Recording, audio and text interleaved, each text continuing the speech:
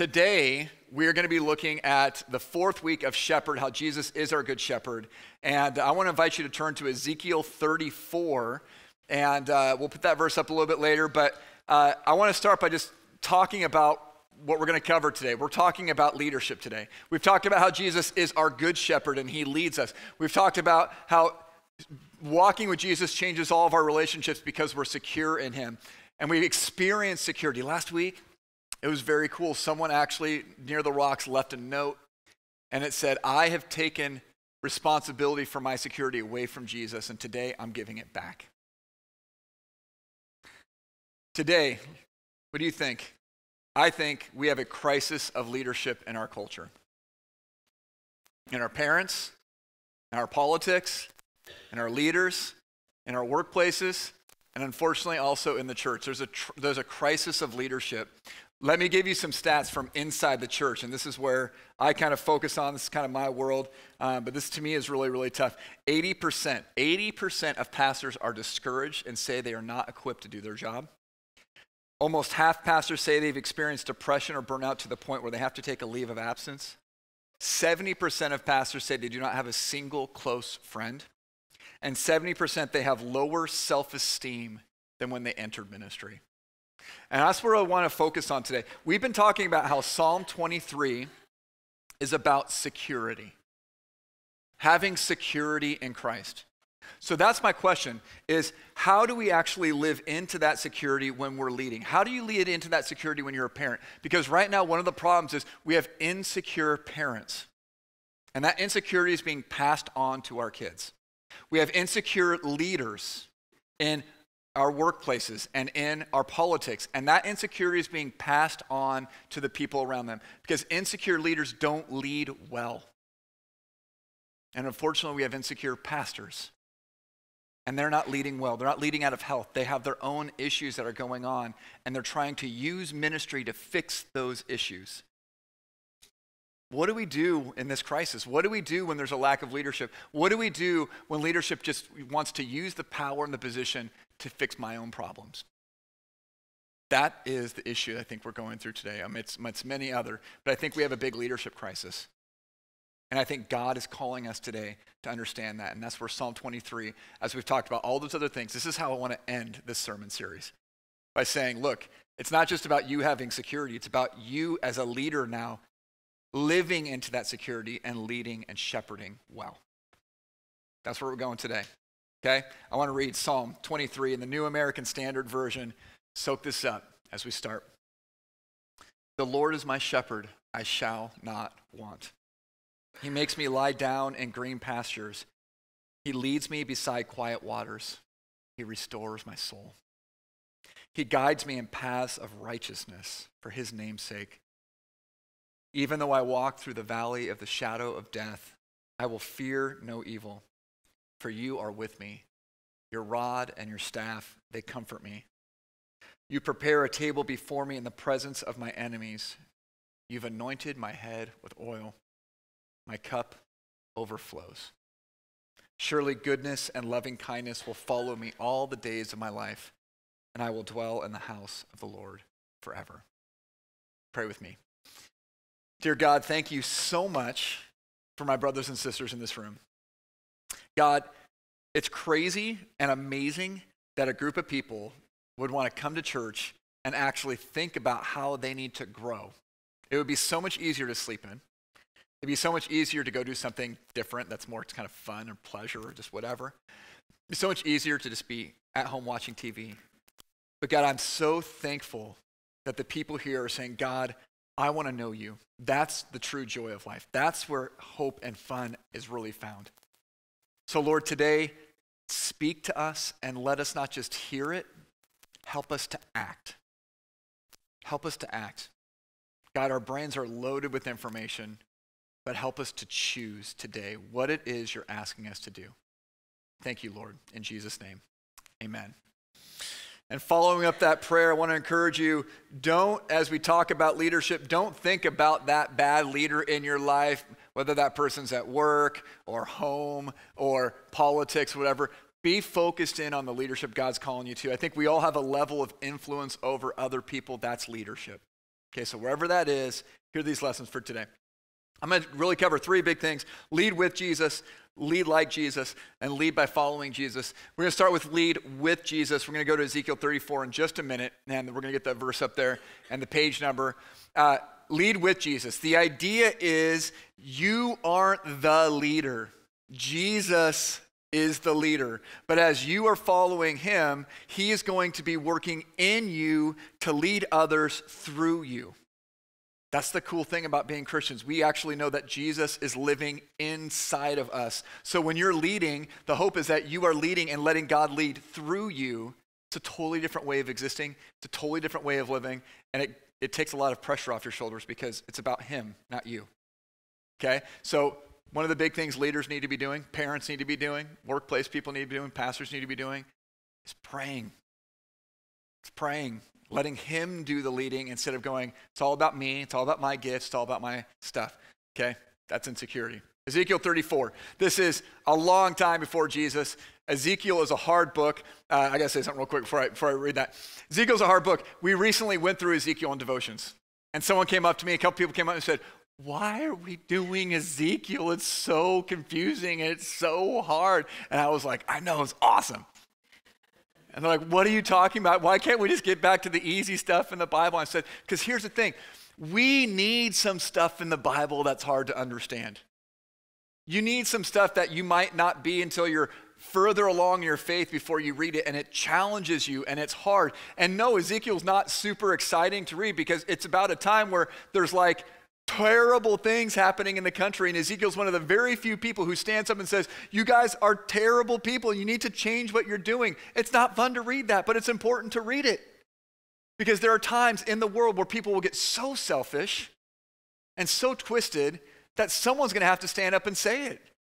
And Ezekiel was that guy. So, and he, we'll remember him because of his faithfulness and because he was right and because God spoke through him okay? But it's not always fun to read, but it's good to have that. It's kind of like the person who says, you know, God made everything for a reason. And the little kid says, Well, then why did God make the stove hot so I burned my hand? And the parent says, So you learned to keep your cotton picking hands off some things.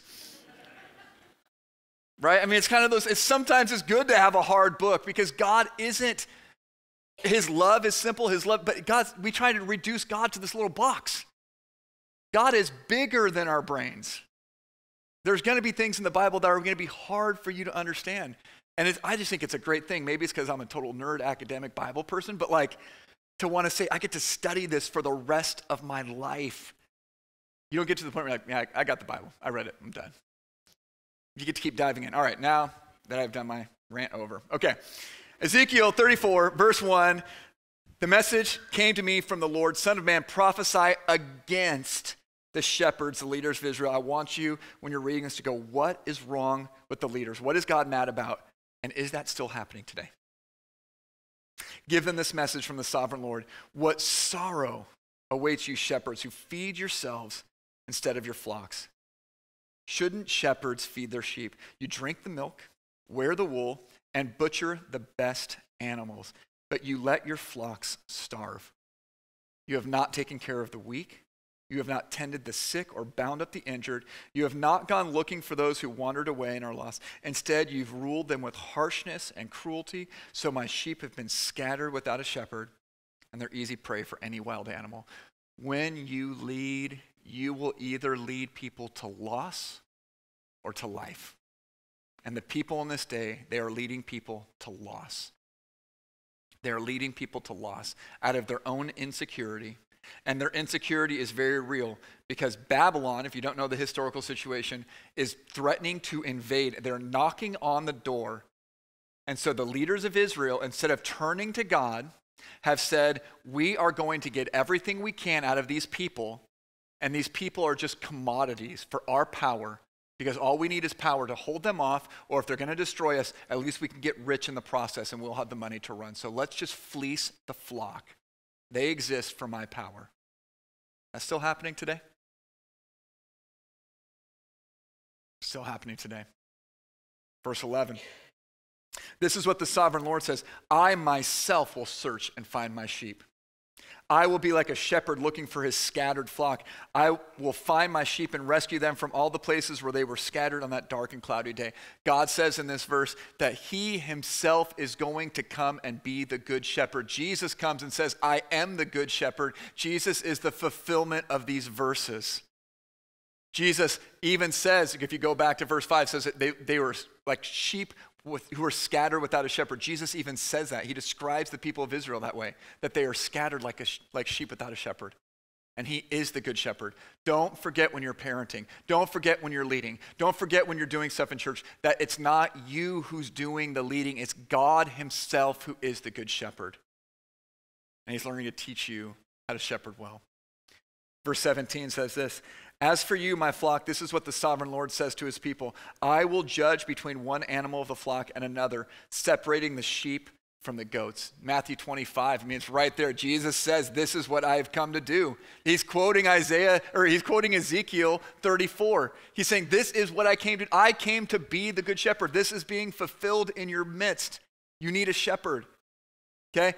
You need to understand that God's leading through you. Jesus also, in his day, was going through a leadership crisis. The country was going through a leadership crisis. Matthew 23, he quotes many of these things and he says, Woe to you, Pharisees! Woe to you, scribes! Woe to you, teachers of religious law! Woe to you because you have led people away because they once again were leading selfishly.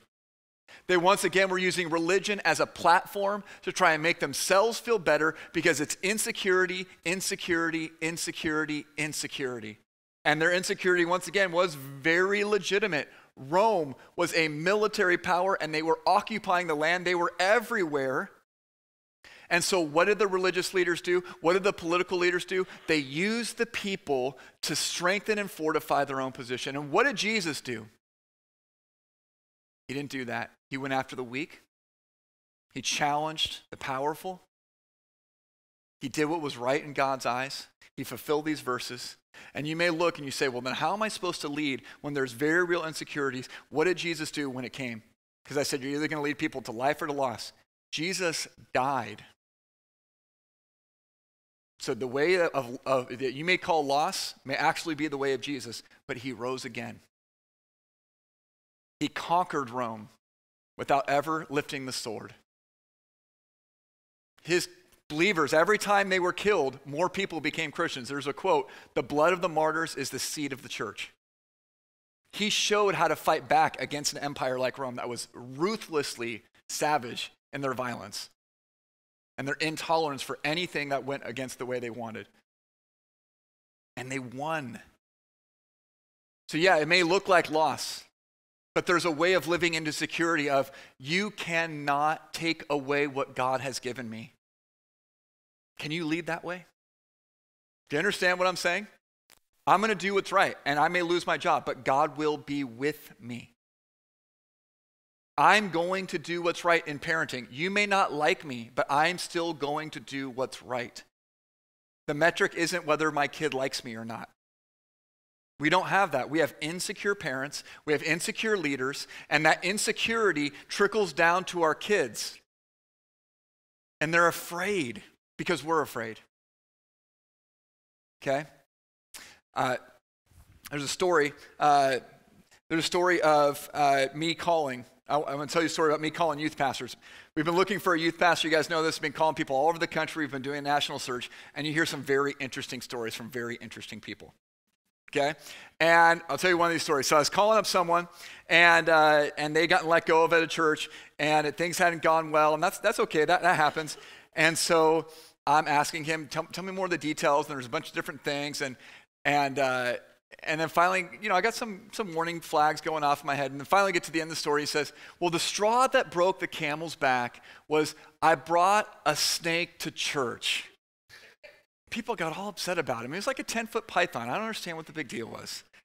And I said, well, did you apologize? And he said, no, I didn't do anything wrong. Right? Now, some of you are thinking, I don't understand what the big deal is. It's just a snake. So I brought from, no, I didn't. I didn't really do I didn't do it. Okay. Yeah, some people are like, that sounds fine. Okay. But here's my point leaders are not supposed to inspire fear, so I'm sorry if I did that, okay? But when you're insecure, you don't take responsibility. When you're insecure, you use people. When you're insecure, it's about position. When you're insecure, it's about power. These are the marks of insecure leadership. Do you hear a lot of people taking responsibility for what they've done wrong in leadership? You hear a lot of parents apologizing to their kids for what they've done wrong? You hear a lot, of, a lot of friends saying to their other friend, You weren't right there. Or is it always, Oh, you're so right. You're fine.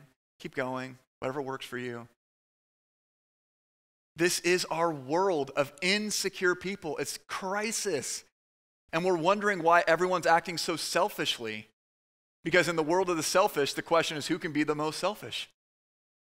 And Jesus is trying to say there is another way through that may look like crucifixion as a leader, but I will be with you and you will overcome. And the question is do we have the courage to do it? Edwin Friedman, let me get that name right. Edwin Friedman He's a leadership guru, he's a rabbi. Uh, he's, he's unfortunately dead now. Wrote a book 10 years ago, before we even lived in the information age. He said he studied family and religion and systems, systems leadership. He said that we have a, a crisis, and he called it a failure of nerve. A failure of nerve. That's the name of the book that he wrote. Didn't finish it. Uh, he said that we live in an age of quick fix. We want everything solved like that, and that often doesn't happen in systems. And he said there's a big problem right now because we want quick fix and people aren't stepping up to lead.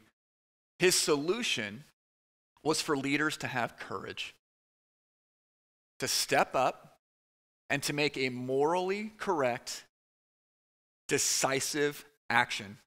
Big decision. And even if the decision is not exactly perfectly right, like there's parts of it that are wrong, at least you're moving in the right direction. And if you're decisive, you'll be able to fix whatever was wrong with the decision later on with more courageous, morally right, decisive action. Our problem in quick fix is, and our problem in the information age, is we have so much information, but we don't know how to make decisions. We're afraid of making decisions. We're afraid of being wrong. We're afraid of being criticized. And that fear is legitimate because the other thing he wrote about is in this systems thinking. This is a new part of his research at the end of his life. Is he says, whenever a strong, courageous leader emerges within the system, there will always come sabotage. As soon as the leader emerges, even people who were previously loyal will do things to undermine the work. Hey, you're doing a lot. I don't have to do as much now. You're really taking ownership. I don't have to now. Even people who were previously loyal. Jesus experienced this.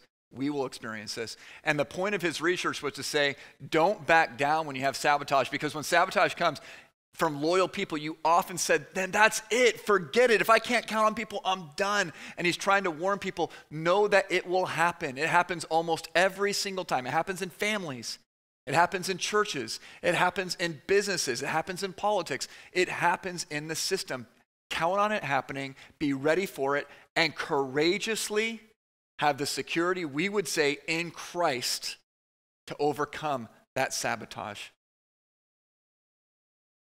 lead with Jesus. What we're talking about ultimately is having character. Leadership is about character. Leadership reveals your character. Leadership, your character flows through leadership, so you need to have strong leadership. We're going to go to the next slide. You need to lead like Jesus. Okay? That's what we're talking about, your character. A few weeks ago, we talked about Jesus being the good shepherd, and we're going to put these things up on the, on the screen here. Jesus saying, This is the characters of the Good Shepherd. Jesus has grace. Jesus gives life overflowing. Jesus sacrifices himself. Jesus knows his sheep, and they know him. He speaks to them. They're very intimate. They have security, and Jesus has love, overflowing, unending love. So, the question number one is Is this your character? Does this describe your relationship with God? Or would you add in other kind of more negative words? See, what happens when we're insecure is we start to project that insecurity up to God. And it taints our relationship with Him instead of letting Him give us security. Okay? Now I got to ask you the second question because we've gone through Psalm 23. We've talked about the security that comes from walking with the shepherd. You got to remember it was David who often had a lot of bad things happen in his life who wrote Psalm 23. So, my question for you is do these words, do these seven things describe your leadership? Is this what it's like to be around you? Jesus, when he says gives grace, he says, No one comes to the Father except through me. I am the gate, is what he says in John 10. John 14, 6 is, No one comes to the Father except through me. There was very clear boundaries, there was very clear limits, but there was also a lot of grace. Is there a lot of grace in your leadership? What about life? Is life overflowing from you? Jesus said, uh, the thief comes to steal life. I came to give life and life overflowing. It, when people are around you, is there just life overflowing from you? Or are you one of the people who just sucks life out of the people around you? You're like this emotional leech. Like every time people are around you, it's just like, oh my gosh, I'm just drained from you. And you go, I don't understand what the problem is. I just told them what they did wrong and told them that they need to change it, and I don't understand what's wrong with them. Why don't people want to hang out with me more? Right? And you think, well, that's how Jesus is. Jesus is the same way. No, he's not. You think it's any reason that the outcasts and the poor and the sinners, the people who didn't have power, they flocked to him? Because he had life, he had good news, he was, un, he was helping the people who were struggling. This doesn't mean he didn't have boundaries, didn't mean he didn't call people, didn't mean he didn't challenge people. He absolutely did. But there was this sense of in leadership, we know each other. We live in this boundary, boundary, separation, structure thing. Where Jesus says, no, we, there's a connection we have with each other. Doesn't mean you break boundaries, but it means you know how things are supposed to be. You live in a way where you're pouring life into people. And you go, well, I don't know where I'm going to get the rest of that life from. Well, that's where you have Jesus because he keeps pouring it back into you. Does this describe your life? Strong leaders serve. Strong leaders sacrifice. And this principle has been shown even from people who are not Christians. It's been shown in companies who have leaders who serve and who sacrifice and who have God speaking to them, even if they don't know God. And they understand this company is going to do well because I am willing to sacrifice. I am willing to serve. I am willing to help the people in my organization. I'm going to care about their families. I'm going to ask about their lives. That's the way I'm going to lead. And those companies do well. Of course, in our world, there's companies who do really well and they don't care about anyone except the bottom line. They can both do well, but there's a difference when you're saying, I'm going to give life to the people around me. There's a different way of leading. Okay? Leading is about character. Leading is about character. And I got to tell you this thing as Christians, as people in this room. When your character is connected to the character of Christ, you will experience spiritual authority. We have the audacious belief in this church that leaders should actually do what they believe. It's crazy. That leaders should be in the Word, that leaders should be people of prayer, that leaders should have morally consistent lives. And when you do that, you will find God works with power, not the world's power, with His power in your life. That's spiritual authority and it comes from your character. Okay? Leadership is about character. Leadership is going to grow your character, it's going to develop your character. And that's why a lot of people don't want to be leaders. Because they don't want God to grow and develop their character, because you know how character is developed, right? Through problems and pain. Somebody's going to say amen here in just a minute, okay? I'll tell you a story real quick. I was in Chicago. Now, I had grown up in a youth group of like 50, 60 people a night, and I'm jumping into youth ministry, and I'm in Chicago, and I go to this church, and I say, I want to I wanna help you in youth ministry, and the pastor's like, oh, praise the Lord, we've been looking for someone. And so we, me and this other guy, we helped start leading the youth ministry, and, the, and, and when we start out, we had one kid. It's really hard to do youth ministry with one kid. It's hard to say, now break into small groups okay? I mean, it's hard to do games with, I mean, I had nothing. I had to learn that from scratch how to do this. Well, a couple years later, we'd grown to about 10 people, and we're doing youth group, and things are going great. And one night, we're in the basement, summer, Chicago. We're in the basement, we're doing youth group, we're just hanging around, and suddenly the lights go out. And the kids start screaming, ah, woo! Dude, what happened? Okay? And I sit there and I say, hey, everyone stop. Remember where you were. Remember, get a picture of the things that are around you so you don't trip over any chairs or anything. And you guys all know the stairs are right over here. Make your way up the stairs. Make your way outside. We're going to finish youth group outside. So they started walking, they got up the stairs, they got outside, and we finished youth group outside in a hot, muggy, you know, the summer Chicago night. And the lead pastor was there at that meeting. And he comes up to me and he says, Scott, man, you know, I'm 19. He says, but that just showed your character. You were ready. You were ready when it was unexpected. You didn't freak out. You were ready. I, I think that was really cool. And it took me a while later to realize that he actually revealed his character as well, because he wasn't ready, but he was willing to admit that he wasn't ready, and he was willing to encourage me as a young leader. That is security. Secure people admit when they're wrong. Do you hear a lot of people admitting when they're wrong? You hear a lot of public leaders admitting when they're wrong? No. You don't hear a lot of encouragement either, a lot of development either, because we have so much insecurity. Secure people encourage, secure people admit when they're wrong, secure people develop. Third thing I want to say is I want you to lead by following Jesus. Now, I want to just kind of dispel a little understanding. Some people kind of go, well, look, we got, here's my discipleship, and then here's leadership. Those aren't the same thing. Like discipleship is getting closer to Christ, and leadership is helping other people. Nope, nope, that's not true. And if you want me to prove it to you, I'll just ask you.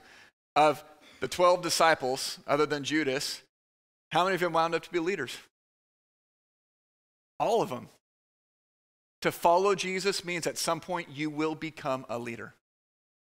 Okay? Because here's how it goes. We start by following Jesus and we give our lives to Christ and we start like going to church more often. Then we start like diving into God's word, which is really important. And you start making decisions for Jesus.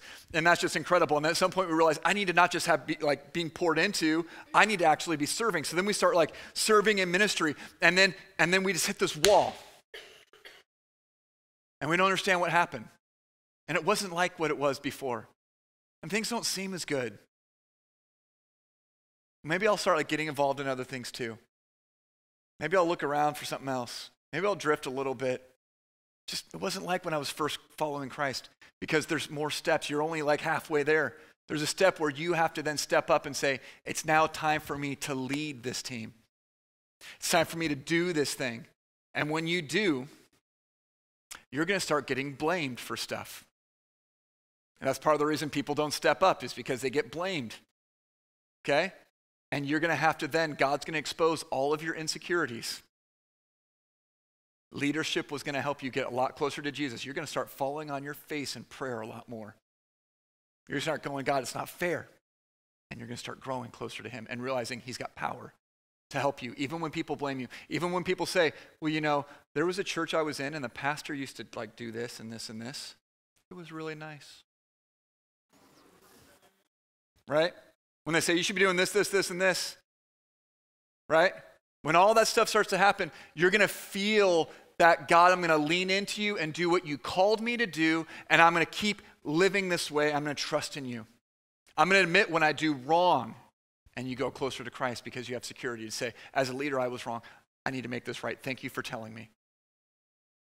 Unheard of today. You're going to get closer and closer to Christ. This is the journey. It's one journey.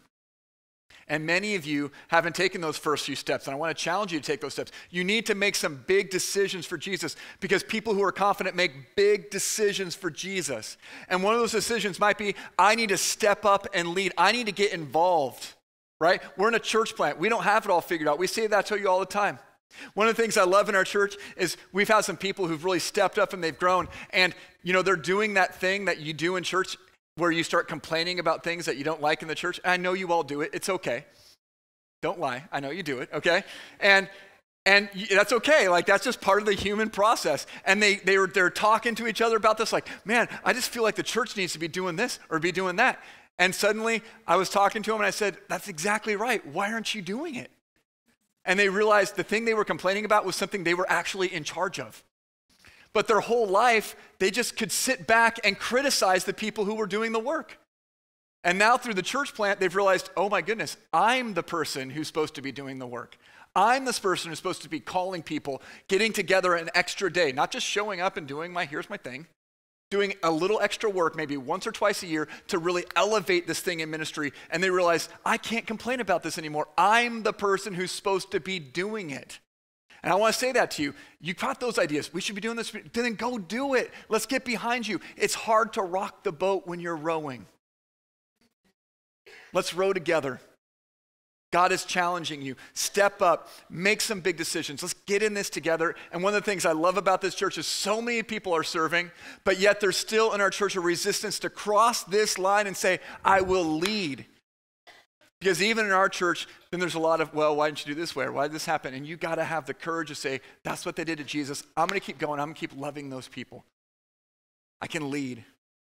That's my journey with Christ. Jeremiah 35. Jeremiah, another hard book, another difficult book. Jeremiah gives this incredible story about the Rechabites. I want to encourage you to look it up at another time. Okay? And here's the story because God is like frustrated with the people of that day who are turning away from him, even though he saved them out of slavery. He's given them crops, he's given them all this good stuff, and they're turning away because they're under threat from the Babylonians. And Jeremiah gets this message from the Lord, and the Lord says, I want, I want you to go and check out this tribe. And this tribe's name, the Rechabites. And he says, This tribe is committed to never drinking wine. And some of you are like, Yeah, whatever. Some of you are like, Never. That never happened to me. Okay? And they've committed to never drinking wine. They have gone without drinking wine for 200 years. You know why? Because one person, one person who was faithful to God, made a vow to God that his ancestors his future generations would not drink wine. For 200 years, they have been loyal to that promise of their ancestors. Do not ever say that your decisions don't matter. Faithfulness, loyalty to God echoes across time. Faithfulness to God, loyalty to God echoes across time. And God is not saying that you can't drink wine. But what God is saying is stop being a victim of the information age where you know so much information, so much information, so much information that you can sit back and just critique all the people who are doing stuff. And get in the game and make some mistakes. Get in the game and be decisive. Get in the game and have the courage to say, I'm in. I'm going to follow God at home. I'm going to follow God. I'm going to let character to be developed in my kids. You want to know why character is in such crisis? It's because we don't allow character to be developed in our youth and in our kids. Because you know how character is developed? Pain and problem and mistakes. And we don't let our kids make mistakes. We jump in and protect them from anything they could have figured out on their own or anything they could have, like, you didn't get this right. You have to figure it out. And we rescue them from everything. So they don't, they're insecure because our insecurity has been translated into them. So get up and make some big decisions for Jesus. Those decisions of loyalty will echo across time. They will influence generations. They'll influence future people in this church. They'll influence this town. They'll influence the people around you. This is what God's calling us to. We have a good shepherd. And walking with him brings us security. You are safe. If God is for you, who could be against you? The one who is in you is greater than the one who's in the world. And the worst that could ever happen is they take our lives, but God has already defeated death. They can't take eternity. Live confidently I believe God has called the church and our church to change the tide and the trend of this culture and the leadership crisis of this culture, and that we would go out as confident, secure leaders who follow the shepherd, and we would shepherd well. That's why we do leadership conferences here. That's why we care so much about leadership. That's why we ask people to be team leaders. That's why we do development all year, because we care about it. That's our heart to jump in and join in. Today, we get to hear from Jackie Crumrine, who is an amazing leader and who's been on an amazing journey. Give her a hand as she comes on up. And uh, Jackie, you're going to tell us part of your story that actually isn't like way from the beginning. It's kind of more more recent. Well, so, some of it is. Um, yeah, I, I, think usually when I tell my testimony, I start with um, just situation that happened about seven years ago, and um, it really was just a season of brokenness, um, actually for both my husband and I. And you know, the story really was one of just God um, being with us in our brokenness and piecing us back together and just kind of moving us towards health. But um, once that happened, you know, we just kind of started moving on that journey. I also realized that um, that brokenness was actually um, a part of something that had been a part of my life, all of my life. Mm. And um, I really just began identifying. Well, I, I, struggled with insecurity my whole life, um, primarily in the area of just physical, with being overweight. I grew up overweight and just all of the social pressure and judgment that comes with that, and the pain that comes with that as a young, um, young girl. Um, and so God just did a work in my life and that over the years. I actually classify myself as a, a, food addict because I know what goes on in my brain when it comes to food. Uh, I like it, and um, and and it's hard. You know, it's hard. And um, so God just God just worked there. But once I kind of started peeling away that layer of, of insecurity that had to do with um, just my physical appearance, I realized that it was also deeper seated. Um, that my insecurity really um, was more of an issue of um, struggling with uh, my identity. I didn't really know who I was. Um, I defined myself a lot by um, what I did, my accomplishments, by um, people's affirmation, and those things were great, but they, they never lasted. They never filled me. Um, and on the on the other side of that, when people critiqued me, it would devastate me, and and I just I, it was just like a whirlwind. And I do have to say that that all the time that I'm struggling with this insecurity and identity stuff, I was in ministry. I've been in uh, ministry as a worship leader for um, about 20 years. I've been on staff the majority of those. So I was in a position to be leading people, to be shepherding them, for caring for them. All the while, I was in this really unhealthy place. And um, it's not, uh, you can't lead in a healthy way if you're not healthy. So that brokenness that I talked about earlier, um, I just came to this place of understanding that even though there was some circumstances that were going on that were painful, I definitely had a role to play in that. Um, my unhealth um, fed into that um, those circumstances, and so just kind of being able to reconcile that um, in my own life and my own journey. And um, about three years ago, um, I started on this journey towards ordination, and I had to write this paper and um, really just kind of identify some key theme verses in my life. And um, the one that uh, that I just kept coming back to was 1 Corinthians 5. Um, and I won't read the whole thing, but I will say that the beginning of 1 Corinthians 5 talks about um, getting a new body. And I'm pretty excited about that. I'm not gonna lie. And then uh, the second one, the second part of that uh, really just talked about being reconciled towards Christ. And um, I wanted to share with you verse 17. It just says, um, Therefore, if anyone is in Christ, the new creation has come, the old has gone, and the new is here. And I love that. And I, I held on to that as just a promise of something that God was going to do in my life. And I, I really wanted to let go of the old, and I really wanted to live into the new, but it was just, it was out there. It was something that was going to happen later. Um, and then while I was just kind of processing through those verses, uh, another phrase came into my mind, and, and it was this um, I believe it's Latin, it's Imago Dei. And Imago Dei means image of God. And it took me back to Genesis and the word where it says, We are created in the image of God. And so as I began diving into this, what, what is the image of God. Who is God? What is his character? You know, and discovering more of who he is and recognizing that I am created in the image of God. It was like mind blowing to me.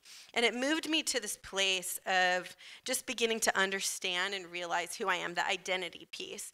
And just at the end of the day, I'm a child of God. At the end of the day, I am complete in Him. Going back to Psalm 23, like, I have all I need. He restores my soul. Anything that is good in me, it comes from Him because He created me. And um, so just living into those gifts, not because it's anything that I've done, but it's just because of what He's called me to and He's gifted me in. Um, and then I'm just called to be in relationship with Him alone and to run after Him with all of who um, I am. And this transformation, this journey of old to new, it wasn't this um, instant thing like I woke up one morning and I was good to go. It really was just this journey of pressing into who God was, pressing in and, and being able to identify. Um, um, just what he has called me to and, and how he has shaped me you know and now i just i don't let the world define me i don't let my my body define me i don't let what people say um, define me um, and i don't let people label me either. I really just want to stand before the lord and and know that i am his and he is mine. And and then that you know that just translated into leadership you know to to lead for so many years in this just kind of unhealthy place and um, to be able to then move into a position of, of health and confidence and security um, you know and and to live into that imago dei I'm, I'm still discovering what that means as i discover more of who god is. I discover more of who i am as i'm made in his image. And, and that's a very different journey. It's, it's a journey that I, I don't necessarily look back anymore. It's one where i'm looking forward. And uh, and there's hope and there's mm. promise in that. So you talked about three years ago is when a lot of this triggered in. And what was it other than papers and ordination that that what was it that really triggered some of that? Um, there was a lot of pushing involved. There was a lot of being um, put in uncomfortable situations. There was a lot of um, hard conversations where I had people in my life that really just spoke truth and called me on some stuff, and and um, all with love and all with grace and time, um, just to be able to let God do that work. But it it was hard. It's mm-hmm. hard work and it, hard circumstances yeah. well. So that's sometimes I think hard for people to be in leadership because you know you're going to be pushed. Yeah, I mean, I you don't ever want to run into brokenness, but um, you know, I, I, can say with everything that I've been through, I, I, would do it again if it meant being in this place um, with the Lord and and just again looking forward and seeing that hmm. just God's going to do great things and there's going to be an opportunity. I'm going to get broken again because God's going to continue to kind of take off those edges, and, and I'm okay with that. That's awesome. Yeah. Let's give Jackie a hand. We're going to pray for Jackie. We're going to pray to close out the sermon. Let's pray together. Lord, thank you so much for this godly leader. Thank you that she is leading in not to trying to be perfect, not trying to live up to other people's expectations, but allowing herself to be challenged, allowing herself to be pushed, and seeing how you use leadership to draw people closer to you. Thank you for drawing her closer to you. God, I lift up my brothers and sisters in this room. You have given them authority, you've given them leadership. Help them to lead well. Help them to lead with security, knowing that you are with them and they don't have to prove anything, they just have to follow you. God, I pray for this church that leaders will continue to rise up as they have already and that we will continue to get closer to you. You are the good shepherd of this church. Help us to follow you. In Jesus' name, amen. That is our prayer. That is what God is up to. So much good stuff going on this Wednesday. Don't forget Ash Wednesday, 6:30. If you need to come late, come late because there is no late in our church. So if you got work or whatever, just come and be part of it. It's going to be great. Uh, also, sign up for our Energize and Equip event. I want to tell you something very cool. We got 17 men signed up for men's conference. Very exciting. Um, yesterday we had 37 kids here doing Canvas and Cocoa. The pictures are up. It's very cool. God is at work. Continue to work and to follow him. Hear this good word. The Lord is our shepherd. Surely goodness and mercy will follow us all the days of our lives. Be blessed, brothers and sisters, in the name of the Father, the Son, and the Holy Spirit. God bless you. Amen. Amen.